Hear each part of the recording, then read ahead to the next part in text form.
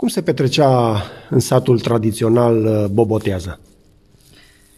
Uh, sigur că noi suntem aici în Maramureș, uh, nordul țării practic, pentru că județul Maramureș e un cumul de țări, avem patru țări etnografice, Maramureșul, Chioarul, Lăpușul și Codru.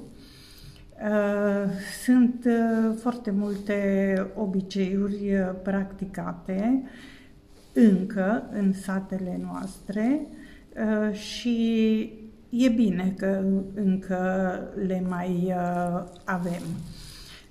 Încerc să-mi uh, amintesc pe cele mai importante și care astăzi, de fapt, nu mai au loc pentru că nu mai sunt de actualitate, să le spunem.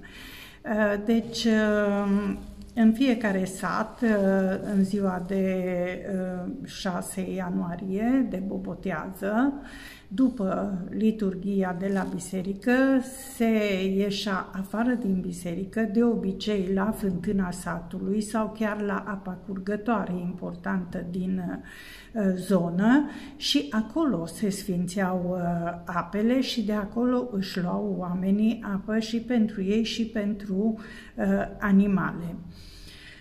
După ce se termina acest uh, ritual, uh, preotul, numai în această zi de bobotează, pleca cu crucea, uh, trecând obligatoriu prin fiecare casă a satului. Pentru că exista credința că în ultima casă la care preotul va poposi în acel an cineva va muri, Preotul pleca în fiecare an din alt punct al satului, tocmai ca să nu nimerească mereu la aceeași casă ultima oară. Totuși, preotul era așteptat cu multă bucurie pentru că prin gestul de uh, stropire a casei și a membrilor familiei cu uh, apa sfințită, uh, se erau convinși că în acel an nimic rău nu va putea să uh, pătrundă în casă, nici boli, nici uh, alte cele, nici pierderi majore uh, și era așteptat cu mult drag. Sigur că fetele cu ocazia asta încercau din nou să își găsească ursita sau să-și afle viitorul, să vadă va fi bun, va fi mai puțin bun, se vor căsători sau nu în acel uh, an. Și de aceea puneau uh, fire de busuioc sub prag, uh, preotul știa și călca cu grijă să nu cumva să le zdrobească prea tare sau să le ducă de acolo Uh, și după ce preotul pleca, acel busuioc era luat și pus în sân pentru că uh, erau convinse că le va face atrăgătoare uh, și seara sub pernă pentru a-și visa ursitul. În unele sate și în această seară de bobotează se făcea turtița sărată pe care o mâncau așteptând ca noaptea să le vină în vis ursitul să le servească cu uh, apă. Ne amintim că acest obicei de fapt uh, se petrece în marea majoritate a satelor de Sfântul Andrei. Uh, un alt uh, obicei era preotul niciodată nu se așeza până nu îi se arăta unde. În primul rând, nu se ieșea din casă fără ca preotul să se așeze. Uh, aceasta însemnând uh, faptul că, într-adevăr, în acea casă toate lucrurile vor fi așezate la locul lor pentru anul care urmează. Dar acolo unde îi se arăta să se așeze, sub uh, țol, erau puse boabe de porumb și aveau credința că preotul așezându-se pe ele, cloștile vor face foarte mulți pui și găinile nu vor păți nimic în acel an.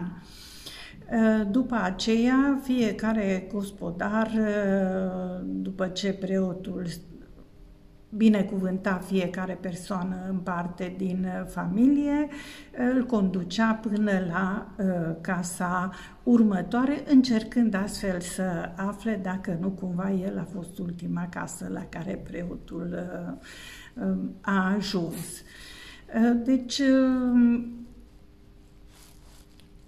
în general, cam acestea ar fi cele care astăzi nu se mai întâmplă, pentru că, mă rog, lumea spunem noi că a evoluat.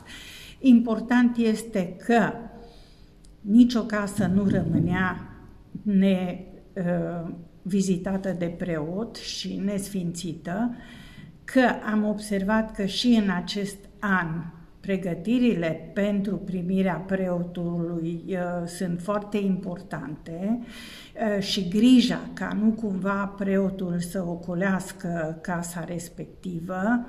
De altfel și preoții au uh, grijă. Sigur că la ora actuală sunt mai multe confesiuni, dar uh, aceasta nu împiedică fiecare are evidența exactă a caselor pe care trebuie să uh, Uh, le viziteze. Și cred că această curățare a spațiului satului cu adevărat pentru că mai există un uh, obicei, uh, nu se aruncă din casă nici măcar gunoiul până trece uh, preotul.